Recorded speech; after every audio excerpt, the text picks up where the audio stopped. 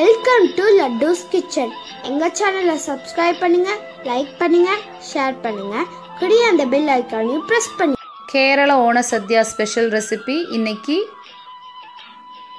பருப்பு சாம்பார்.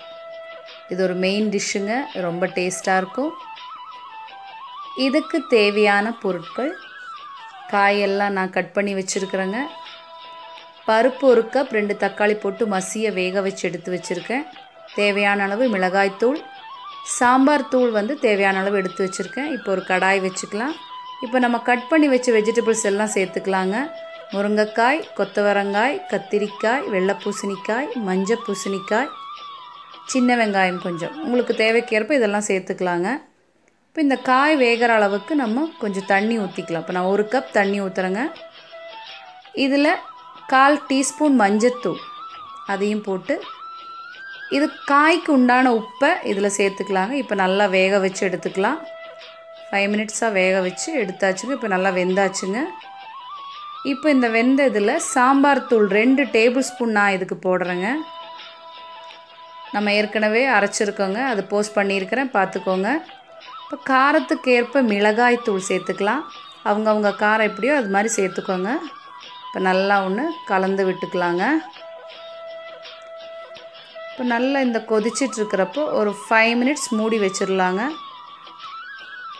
இப்போ நல்லா கொதித்து காயெல்லாம் நல்லா வெந்தாச்சு. இதில் நாட்டு சர்க்கரையை ஒரு டீஸ்பூன் சேர்த்து அதையும் ஒரு ஃபைவ் மினிட்ஸ் பாயில் பண்ணி எடுத்துடலாங்க டேஸ்ட் சூப்பராக இருக்குங்க. இப்போ நம்ம வேக வச்சு பருப்பு தக்காளி அதையும் இதில் சேர்த்து கொஞ்சம் கிளறி விட்டுக்கலாம்.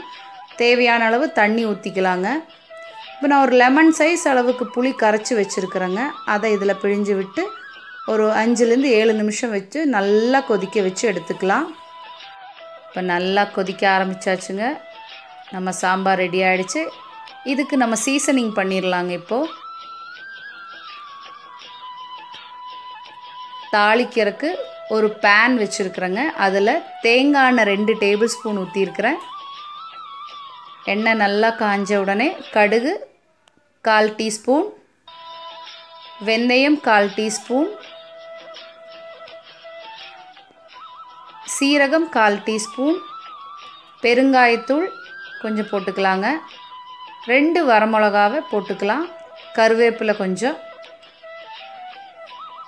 இப்போ இந்த தாளிப்பை நம்ம இதில் ஊற்றிக்கலாங்க.